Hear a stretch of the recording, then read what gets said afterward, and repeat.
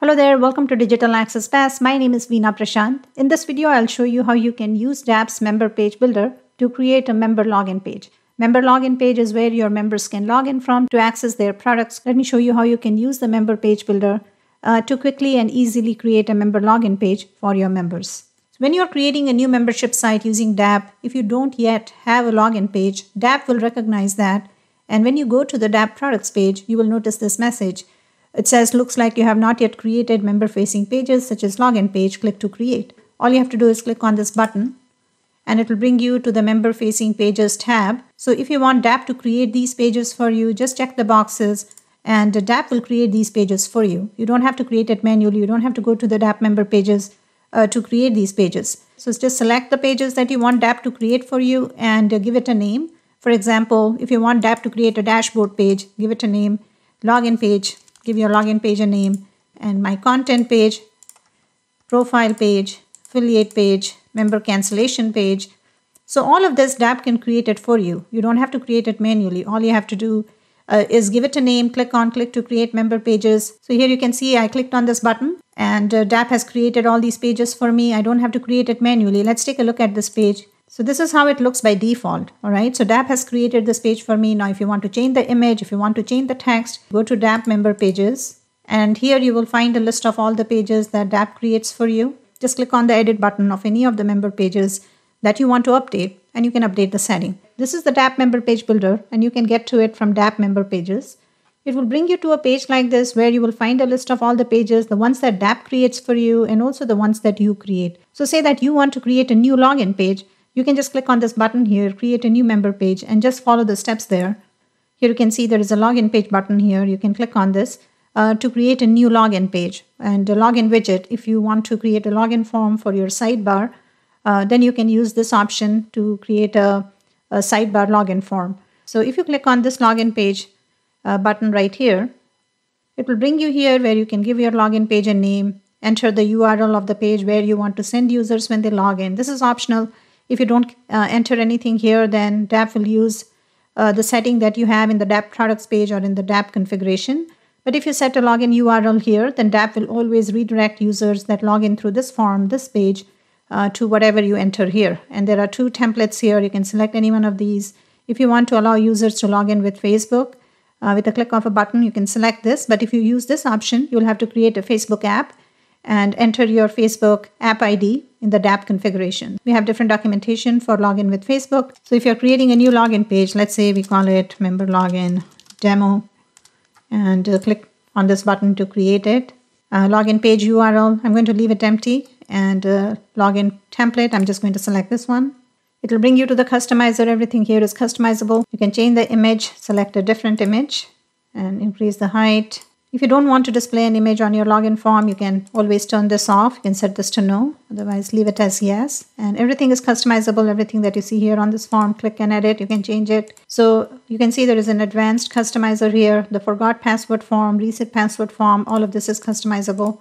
So the way this works is if users click on the forgot password uh, link here on the login form, DAP will show them this form where they can enter their email, click on forgot password button. It will, uh, DAP will send them an email with the reset password link and if they click on that then uh, they can change the password here. But everything that you see here in this form is customizable. You can change the text change the colors all that and save and next. That's it all right? So now you have a login page. So if you want to create a login page like this you can do that. You don't have to get DAP to create it for you. You can always follow the steps here in DAP member pages to create any of the member facing pages. You don't have to get DAP to create it for you. All the member facing pages it's the same process just follow the steps to create a new one. And at the end, it's going to insert the shortcode on the page that you selected. So DAP will insert this shortcode on this page. However, if you want to insert this shortcode, this is the login shortcode. If you want to insert this on any other WordPress page, you can do that and you will have an instant login form on that page. So if you want to have a login form on any page, any WordPress page, just copy this from here and paste it uh, wherever you want the login form to show up. It does not have to be on this page. That's it. This is how you can create a login page. And let me show you what happens if DAP creates a login page for you. So if DAP creates a login page or any other member facing pages for you, again in the DAP member pages, you will find a list of all the member facing pages, the ones DAP creates, the one you create. And uh, say that this is the one DAP created for me. you can always edit the setting and change it. So anything you want to customize, you can always change the defaults. So whatever DAP creates, uh, DAP will use all the default options, but you can edit the page and you can update the setting. It will bring you to the customizer when you edit it. You can go back to the general tab, update the setting. If you want to set a login URL, post login URL, you can enter that here. If you want to select a different template, you can do that here. You can customize the setting. You can upload a different image. Whether you create a login page or whether DAP creates for you, it's exactly the same. You will find everything in DAP member pages. Everything will be listed there. You can edit the setting and change it. Now, as far as the post login landing page, as I mentioned before, if you enter something here, when you create your login form, DAP will always send users that log in through this form to this page. But if you leave this empty, then the way it works is if a member has access to multiple products, say that they have access to multiple products in DAP, then whatever you enter in DAP setup config page, member pages, post login page, this is the global setting.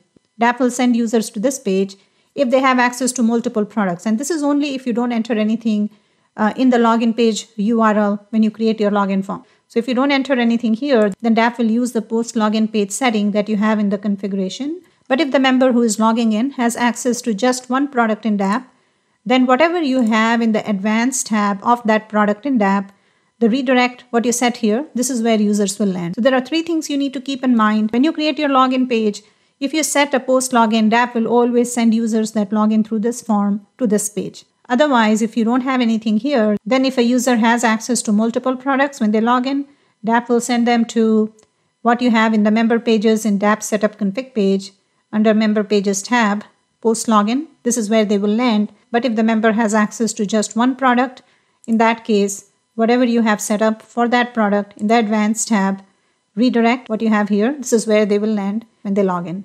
Now say that when members log in, you want to send them to a member dashboard page or a My Content page where users will find a list of all of their products and content. It's really easy to create a page like this using DAP. All you have to do is go to the member engagement page in DAP. We have a really cool member engagement builder. Just follow the steps there to create a member engagement dashboard. I'm going to click on this to quickly show you how this works.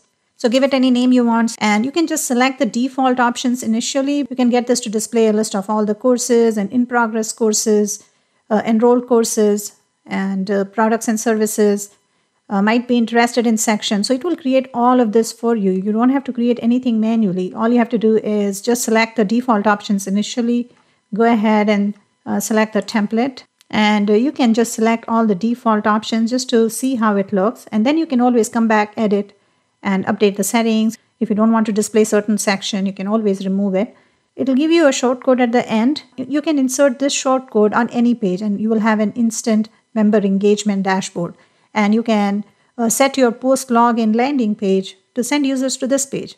And uh, there is another option. If you go to the DAP member pages, you can create a My Content page and just follow the steps, create new member pages, create a My Content page. And there are several templates here as well. I'm going to just edit this and show you my setting.